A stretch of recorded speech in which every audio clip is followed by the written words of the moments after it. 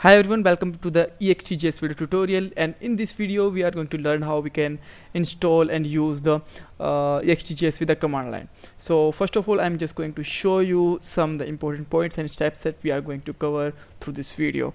So I already collect some official links and they are the exact link that uh, will help us to download the SDK and download the Sencha commands so that we can easily collect from the here we don't need to google it and uh, these are the steps. So first of all we will download our command line from here. Then we, will install it and check is it working or not. Then we will download the SDK link. It will directly come on our email uh, as the Sencha uh, provide it uh, by the email link. And then we will copy the new project from the SDK and after that we will run it and uh, check it is it working or not. Alright? So first of all I'm just copying this, this link and uh, let's check is it working or not. So these are the links so we can directly download from here. When we just start with the download it will starting the download here. So you can see that it will just take some time. So as you can see that I already download this file just some time ago. So I'm not going to download it again. So I'm just going to cancel it so just save the time. Alright. So just cancel it and when you just open it you will see there is a uh, when you just extract it you will find uh, there is an sh file is here. So for installation we have to run that one. So I'm just going to use the command prompt for that and just write here download and just initialize this file with the sencha command and when just start with and it will showing that it's installing. And one pop-up will be get up here. After that you can easily install it with uh, accepting the agreement and all the stuffs. So you can download the everything that is asking by default and it will just take the few moments to install. So we can directly wait here. Alright. When it's directly installed then after that we can just close the command line and open the one more command line and it's installed globally so that I can check with the sencha command is it working or not. So fantastic it's working as you can see that there is a command that is telling some commands for here alright? So that's fine.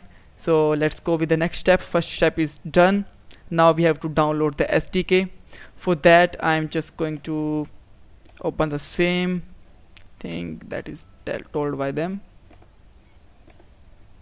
and I'm just going to open my email also because they're sending the email. Sometime they will take some time to send the emails so if they are just sent me exactly at the same time then I will use the same link. Otherwise I just uh, uh, sent an email just uh, some time ago. You can see that the time just uh, half an hour ago. So I will use the this one link for the download. Alright? So now let's uh, fill some details like here. So in the company's whole thing stops. You can fill your details. So fine. So just you select your country and select the operating system. I have Linux 64 bit. As a student you can choose as a student if you want. I already select the random of them.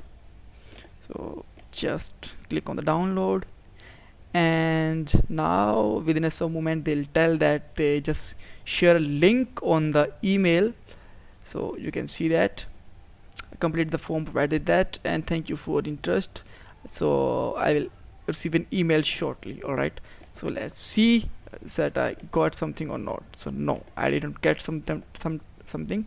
And we will get probably within a 5 minutes or 10 minutes. I will show you that one also but for now I'm just going to download this link from that alright so now just going to start that.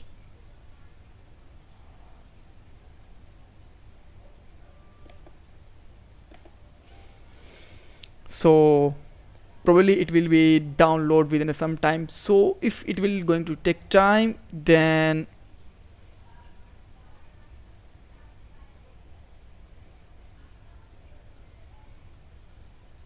so it will asking me to use the command line right?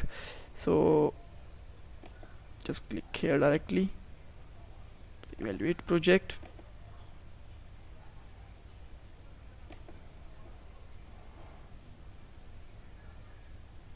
Click on that link and they'll just ask me the some details once again.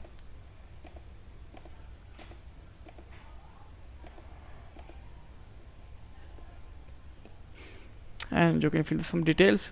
Otherwise if you don't want to direct download now then you can just close the, all the things. And there is a link for the trial that is just asking that if you are having some problem with the uh, link then you can directly from download SDK from here. Then directly click here and you will see that a one trial version is downloading here. Right. So it will take some uh, moments. So for that time I'm just going to be hold and just going to stop this video so that we can save the time. So guys now you can see that the ext 6.7.0 is installed. Sorry downloaded. So now let's uh, see in the folder. So just close it. And I'm just going to the download folder. Here I just extract the new one. So we can just remove it so we just download that one also. So now let's extract it here.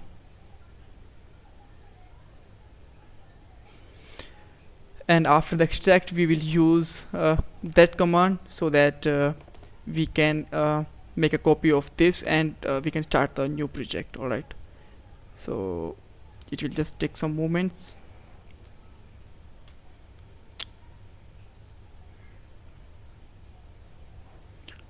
alright it's uh, near to be done. Fine so let's close that one and here you can see that uh, we have the everything inside this folder. So now let's go with that. So just open um, terminal with that. So now just go to the same folder here. So I'm just going to the download and in the download um, the folder name is 6 7 and the version name. So the command will be like Sencha minus SDK this is the path and after that why uh, you can see the command here also. So generate app and the app name. So I'm just going to put the app name YouTube and the directory where I just want to install it. It's a desktop and YouTube S that's the YouTube Sencha and just hit the enter. And now you can see that it's just start making a copy here. And now let's go to the direct that folder. Here here you will see the files are being copying. So I'm just going to mm, minimize this command line and just open this folder inside the Visual Studio Code so that we can just check out the code and some kind of stuff. Uh, until it's just uh, copying here it will just take some moments. Okay so our project is almost ready. So where I just put that one. I think I just opened the wrong folder. Sorry for that. Yeah I just have to go on the desktop. And YouTube S and just I have to open that one. Alright so it's a complete here so now just look at the folder and first of all uh, I'm not going to go in detail because uh, this video is already uh, got some length. So alright so these are the file structure that we are just going to discuss in the next. So here you can see that this is downloaded. So now I just go to the same file here desktop YouTube and here you can just try the Sencha is it working? Yes this is working. And with that now just use the Sencha app watch. And hit the enter. Now it will just uh, start the processing and make uh, make it available a port number that you can use. The port number is 1841 all right so it's going to start here and here I just I'm going to use the local port number. This is not started yet. Um, let me check. Yeah this this is all about to start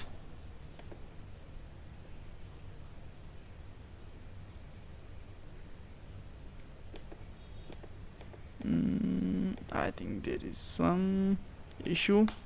Then let me check and just give me a moment.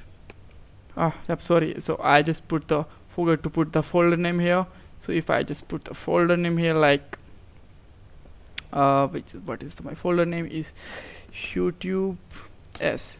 Then you can see that okay so this is running properly fine here as you can see that. So the youtube is the project name and all. So this is a Tummit project that is working. So thanks guys. So let's find this text and try to change something. So like um, so that we can let's check is it working nicely or not? So just go to the model. I will explain you later then why uh, these steps we are doing.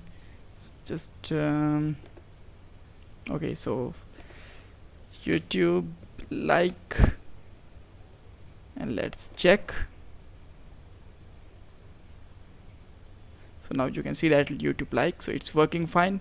So thanks guys. Thanks for watching this video. In the next video we will learn something new like the how we can just start with the command line and folder structure how we can place our MVC framework and all. So thanks guys. Thanks for watching this video.